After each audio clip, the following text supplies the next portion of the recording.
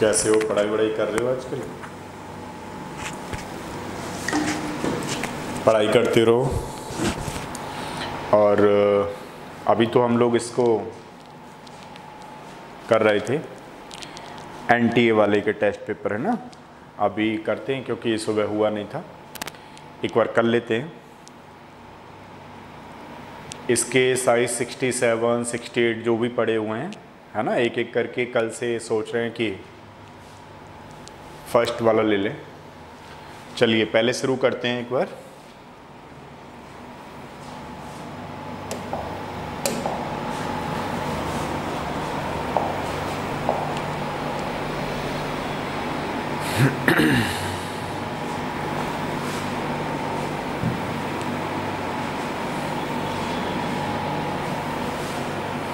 चलिए बताइए, इसका कौन सा होना चाहिए? तो देखो, इसमें क्या है, जैसे which of the following is not chlorinated insecticides कौन सा वाला क्लोरिनेटेड इंसेक्टिसाइड्स नहीं होगा? तो इसके लिए सारे बच्चे जानते हैं डीडीटी की जो स्ट्रक्चर होती है, वो कुछ ऐसे होती है। ठीक है? सी सी एल थ्री और ये कुछ ऐसे करके। तो ये क्लोरीन वाला है। मतलब ये होगा डीडीटी होगा। अगर हम बात करें मिथॉक्सीक्लोर की, है ना? और तो मिथॉक्सीक्लोर में क्या है? कि जैसे कुछ, ये रिंग होंगी। तो इसमें क्या है ना? दो रिंग में ये अटैच है, यहाँ क्लोरीन क्लोरीन क्लोरीन, ऐसे करके होगा, ठीक है? O M E O M E तो इसमें भी मतलब ये है कि होगा ही होगा, दूसरे वाले में भी मिथॉक्सीक्लोरीन में होगा। बी एच सी की बात करें तो बेंजीन हेक्सा क्लोराइड जो होता है उसमें भी होगा।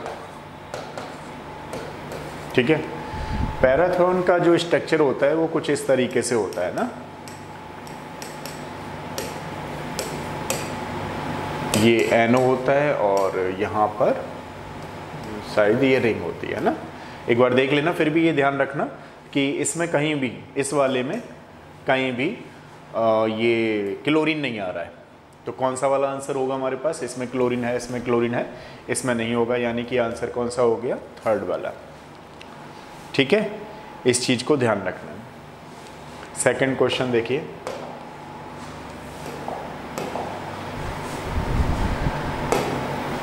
सेकंड क्वेश्चन हमारे पास ये है।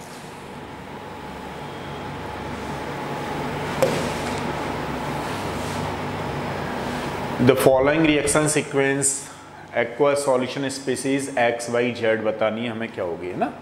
तो देखो, अगर हम एक्स की बात करें तो यहाँ पे रिएक्शन चल रहा है।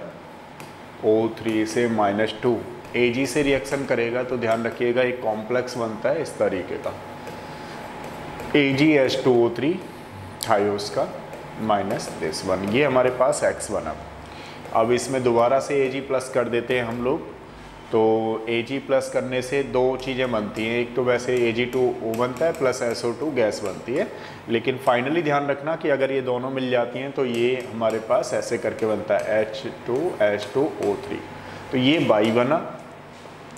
अब विद टाइम थोड़ा टाइम के लिए इसको छोड़ देते हैं तो ब्लैक पीपीटी आता है। ब्लैक पीपीटी किसका होता है? इस तरीके का। ठीक है? तो हमारे पास जेड ये बना। यानी कि एक्स बाई एंड जेड तो कौन सा ऑप्शन सही है बताओ? देखो, इन दोनों में तो बन ही नहीं रहा।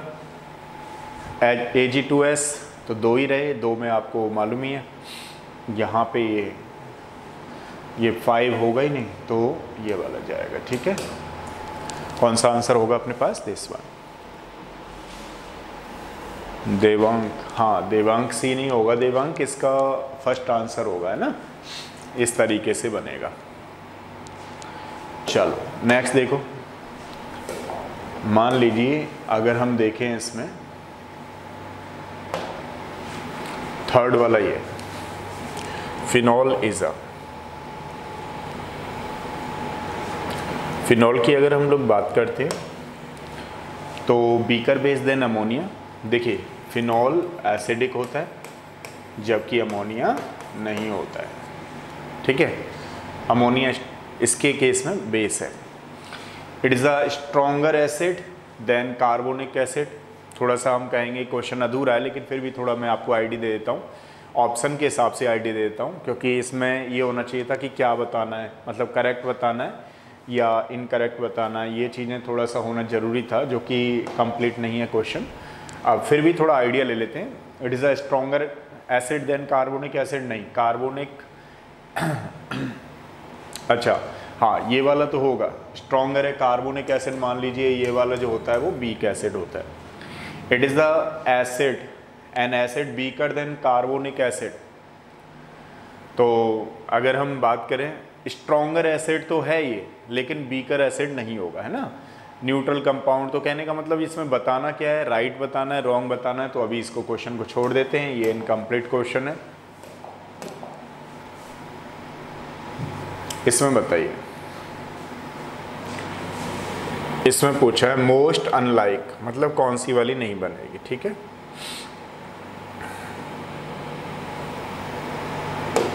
बताइए, कोई बच्चा बता रहा है इसका आंसर कौन सा होगा?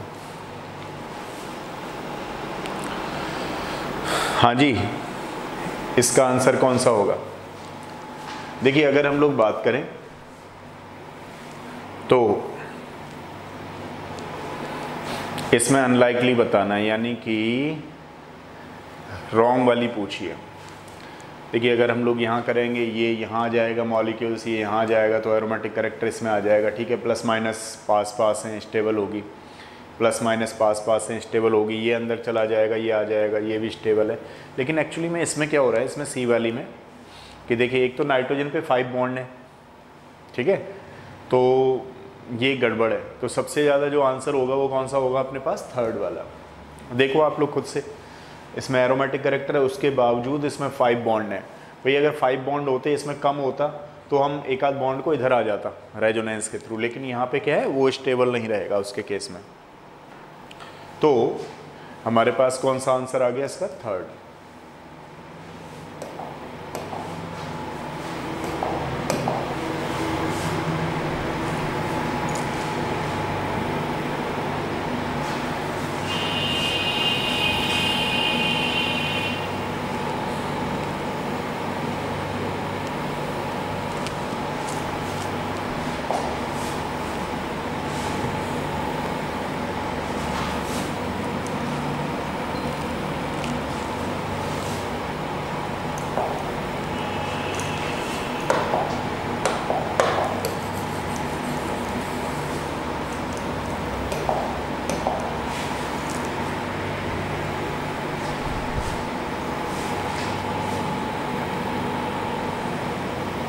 देखिए, अगर हम इसकी बात करें तो इसमें कौन सा क्वेश्चन आंसर होगा बताओ?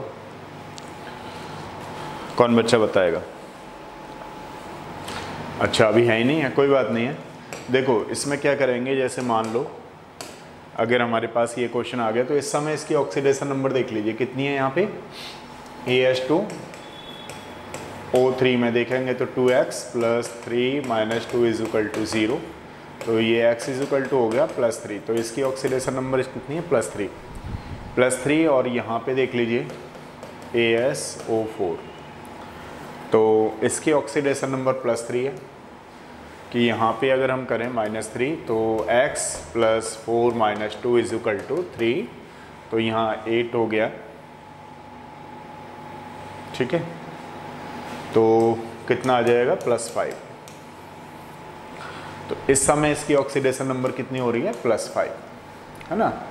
तो आर्सेनिक के केस में अगर हम देखें स्पेशली यहाँ पे तो ये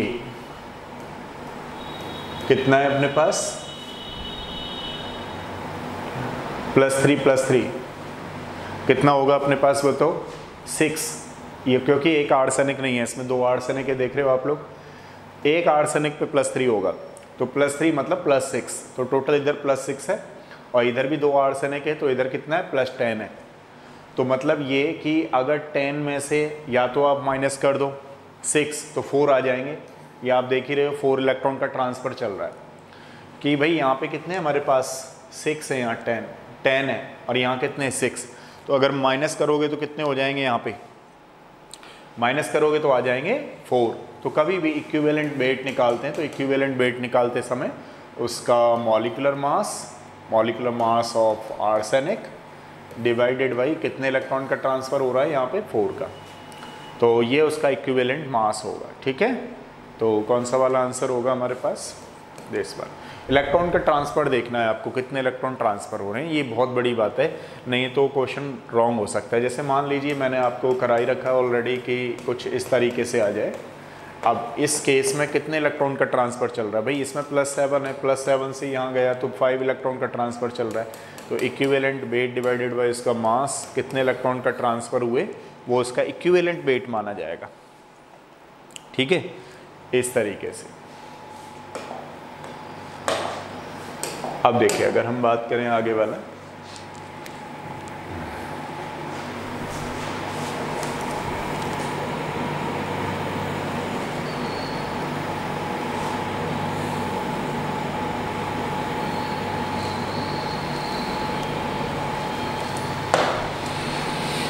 What will the Freundlich adsorption isotherm equation at high pressure?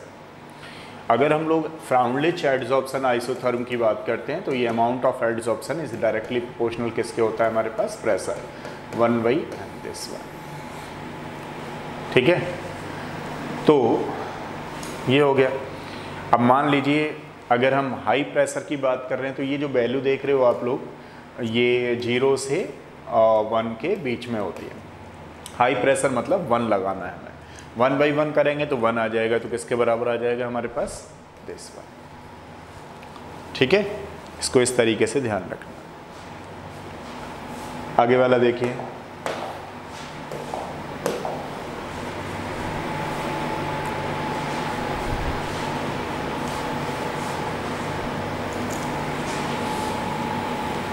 देखो ये सॉलिड स्टेट का क्वेश्चन है। सॉलिड स्टेट में आ, सारे बच्चे जानते हैं। क्या जानते हैं? कि जो सीजियम क्लोराइड होता है सीजियम क्लोराइड का कोऑर्डिनेशन नंबर कितना होता है? एट रेशियो एट होता है। किस स्ट्रक्चर में पाया जाता है? बीसीसी में पाया जाता है। और ध्यान रखिएगा इसमें क्या होता है? जैसे मान लीजिए एक जेड एन एस है। जेड एन एस की दो स्ट्रक्चर पाई जाती हैं। एक को हम लोग जिंक ब्लेंडे बोलते हैं। Zinc blende. और एक क्या होता है, हमारे पास जिंक बर्टाइज दो स्ट्रक्चर होती हैं, zinc blende and zinc wurtzite ध्यान रखिएगा, ये जिंक ब्लेंडे जो होता है, वो सीसीपी में होता है क्यूबिक क्लोज पैकिंग और ये जो होता है, वो एचसीपी में होता है हेक्सागोनल क्लोज पैकिंग तो ये इसकी स्ट्रक्चर जो है, वो जिंक ब्लेंडे की तरह होती है। यानी कि इसमें जो है, जैसे कि जिंक ब्लेंडे में Z ion fifty percent tetrahedral में पाए जाते थे ठीक है 50 परसेंट बॉइड जो है टेट्राइडल में और 50 परसेंट जिंक पाए जाते थे, बाकी ऑल्टरनेट होते थे, ठीक है? तो इसमें अगर हम कहेंगे तो क्या कहते हैं कि भाई eight caesium ion eight chloride आइनों द्वारा सराउंडेड है तो one caesium ion one chloride आइनों द्वारा सराउंडेड होगा तो कौन सा आ जाएगा हमारे पास थर्ड ठीक है, ये आंसर होगा।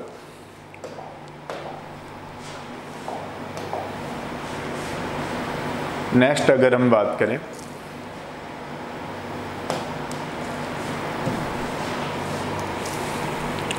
मोस्ट एसिडिक कंपाउंड, ये तो बता ही सकते हो आप लोग।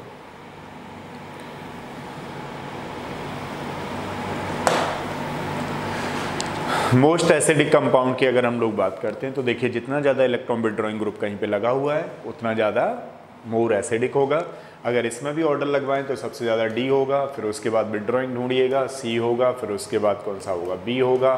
देन हमारे पास ए होगा। तो सबसे ज़्यादा जो एसिडिक होने वाला है, वो कौन सा हो जाएगा? डी आंसर आएगा। नेक्स्ट देखिए।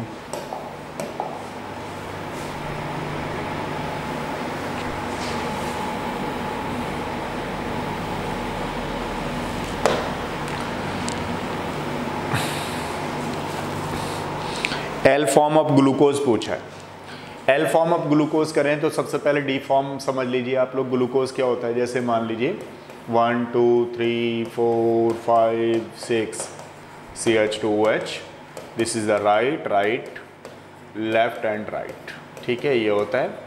अब इसके केस में हम लोग क्या करेंगे this is the D glucose अगर हमें एल ग्लूकोज बनाना है तो इन दोनों फॉर्म को हमें चेंज करना पड़ेगा। अदरवाइज़ क्या होगा, नहीं तो कोई दूसरी फॉर्म बन जाएगी। मैनोज भी होता है गलेक्टोज भी होता है। इस बात का भी हमें ध्यान रखना है, ठीक है? तो ये दोनों जो है ओ OH की फॉर्म चेंज हो जाएँगी तो किसमें चेंज हो रही हैं, यहीं से मालूम कर लेते हैं ना? तो देखिए, ये तो डी ग्लूकोज है राइट राइट लेफ़्ट राइट नहीं डी ग्लूकोज नहीं है। तो हमारे पास कौन सी आ जाएगी? इसमें ये वाली। ठीक है? ये जैसे मैनोज है, ये गैलेक्टोज है, ये सारी फॉर्म है। तो अगर हमें चेंज करना है तो दोनों को चेंज करना पड़ेगा। एल ग्लूकोज के लिए। ठीक है? अब देखिए।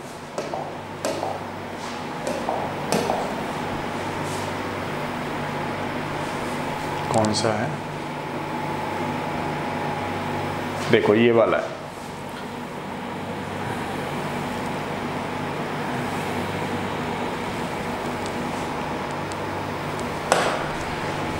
हाँ जी, एक आध बच्चा बता रहा है। Compound which is strong oxidising agent and has orange coloured crystal it is use to preparation of azo compound identify the compound कौन सा वाला कंपाउंड होगा? एजो कंपाउंड बनाने के लिए काम में लाया जाता है।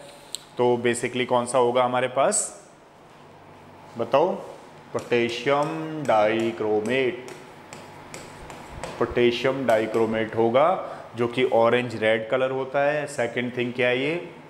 स्ट्रॉन्ग ऑक्सीडाइजिंग एजेंट की तरह काम करता है like as the potassium permanganate ठीक है? इसका भी ध्यान रखना है आपको।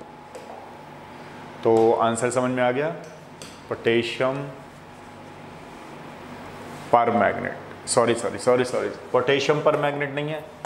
कौन सा वाला है? पोटेशियम डाइक्रोमेट कौन सा वाला है? Potassium dichromate this is the potassium dichromate क्योंकि उसका कलर कैसा होता है? ग्रीन और पर्पल है ना? मैग्नेट पर मैग्नेट आप लोग जानते हो पोटेशियम तो के फोर होता है, उसका ग्रीन और पर्पल कलर होता है। जबकि इसका ऑरेंज रेड कलर होता है तो आंसर फोर्थ जाएगा। ठीक है? नेक्स्ट देखिए यहाँ पे।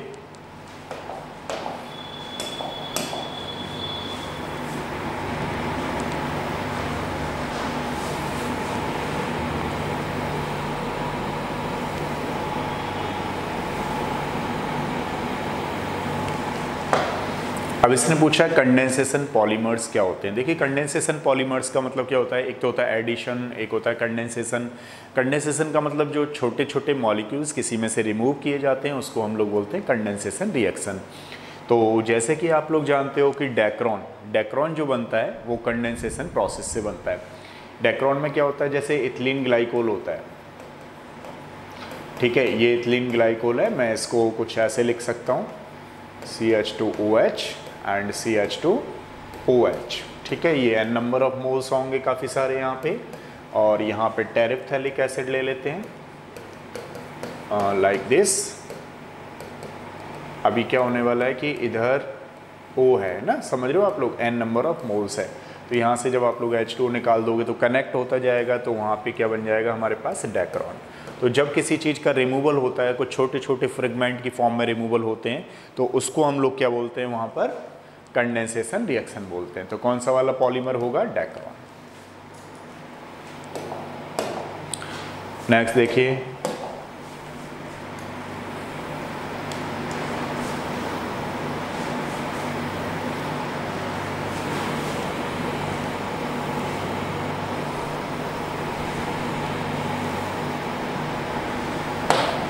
अगर मान लीजिए क्वेश्चन है हमारे पास the tenth element in the periodic table resemble with tenth element जो होता है, वो किसके साथ रिजेंबल करता है? तो टेंथ की अगर हम बात करें तो क्या है हमारे पास? नियोन है। अब नियोन किसमें जाएगा? तो यहाँ पे सेकंड एलिमेंट डाल दिया, बाकी आपको पीरियड भी डाल करके दे सकता है तो ये भी चीज़ आपको ध्यान रखनी है, ठीक है? तो अगर हम सेकंड पीरियड की बात करें, यानी कि फ़र्स्ट एलिमेंट या सेकंड पीरियड की या फ़र्स्ट पीरियड की बात करें तो देखो सेकंड पीरियड में क्या होता है? इसमें दो चीज़ें, one S two two S two and two P six मतलब जो बैलेंस इलेक्ट्रॉन है, इसका कितना है? आठ है। और ये जो एट है, वो किसमें चलेगा? यानी कि एस और पी किसमें चलने वाला है? जैसे ग्रुप सेकंड में चलेगा। ठीक है? तो ये जो है ग्रुप सेकंड में ही आएगा एलिमेंट तो कौन सा वाला होगा हमारे पास? सेकंड एलिमेंट या सेकंड पीरियड की तरह ये काम करता है। ठीक है? हाँ। तो देखो नेक्स्ट में अगर हम बात करें अगर हमारे पास अब नेक्स्ट वाला ये वाला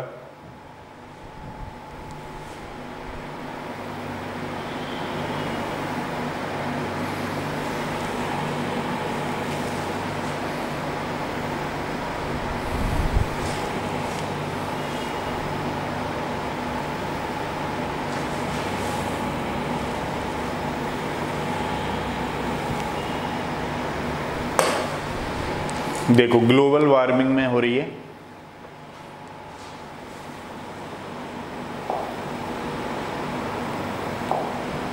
हाँ भाई, बताओ यस कौन सा होगा इसमें? कौन से सही हैं इसमें ऑप्शन बताओ।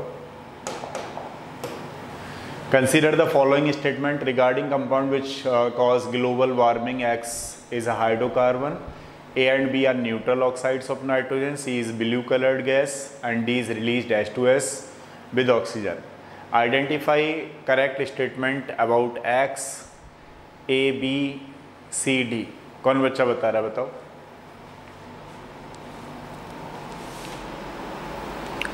हाँ भाई, बताओ यस तुम कह रहे हो कि तुमने सारी केमिस्ट्री सही कर ली है। अब जरा बताओ ये कौन सा आंसर होगा इसका।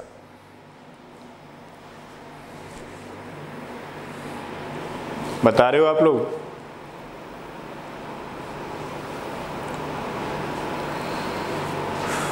इस क्वेश्चन को थोड़ा बड़ा कर देता हूँ, ठीक है? होमवर्क के लिए देता हूँ आपके लिए। नाइट में ढूंढ करके रखना करके रखना इसको सारे बच्चे। फिर कल डिस्कस करूँगा मैं। बड़ा कर दिया है मैंने, एक बार नोट कर लो। ठीक है? या क्लिक से फ़ोटो खींच सकते हो। आ रहा है इतना बड़ा? मुझे लग तो नहीं रहा। दोबारा बड़ा कर देता हूँ। ये आपका होमवर्क है। इसको आपको करना है, ज़रा देखना, थोड़ा मज़ा भी आएगा। गूगल मूगल से मत करना चाहिए ठीक है? बाकी बुक से करना। डी एंड एफ़ ब्लॉक का एलिमेंट का क्वेश्चन है। ठीक है? तो हो जाएगा आपसे। इसका फ़ोटो क्लिक कर लो। कल मुझे बताना कौन सा आंसर इसका आया। ये आपके होमवर्क है, क्योंकि बच्चे जो कह रहे हैं कि हमने तो केमिस्ट्री पूरी कर दी है। अब केमिस्ट्री तो पूरी कर दी है, ज़रा देख तो लें। हो भी रही है, पूरी नहीं हो रही है। चलो। कौन सा वाला है हमारे पास? ये है। इसको कैसे सॉल्व करोगे बताओ? डिस्टिंग्विश कैसे करेंगे हम लोग?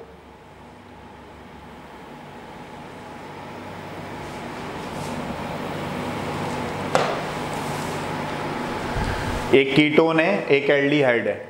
किस तरीके से डिस्टिंग्विश होगा बताओ? ये तो सिंपल है। अभी ट्वेल्थ में आया होगा ये। बता सकता है कोई बच्चा? कौन सा वाला होगा? देखो, यहाँ पे अगर हम न्यूट्रल एफ़ थ्री की बात करें तो ये किसको करने के लिए यूज़ होता है? फिनॉल को। ठीक है, ये तो फिनॉल टेस्ट देता है तो ये होगा नहीं। टॉलेंस रिएजेंट क्या होता है? एल्डिहाइड को करता है और फेलिंग को नहीं करेगा। वो कीटोन को नहीं करेगा। तो टॉलेंस रिएजेंट टेस्ट इसके लिए वैलिड होगा। ठीक है? कौन सा वाला? सेकंड वाला। ये क्या होता है? कार्बोनाइल टेस्ट होता है। डीएनपी भी करेंगे तो दोनों के लिए वैलिड हो जाएगा। क्योंकि वो भी कार्बन कार्बोनाइल में ही लगता है डीएनपी टेस्ट ठीक है? तो हमारे पास कौन सा होगा? टॉलेंस रिएजेंट टेस्ट एल्डिहाइड के लिए वैलिड होता है कीटोन के लिए वैलिड नहीं होता है, इस बात का आपको ध्यान रखना है।